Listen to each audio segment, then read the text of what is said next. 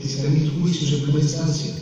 de los cuales se concluyeron de estos 227.000, el 84.4%, esto equivale a un 7% de incremento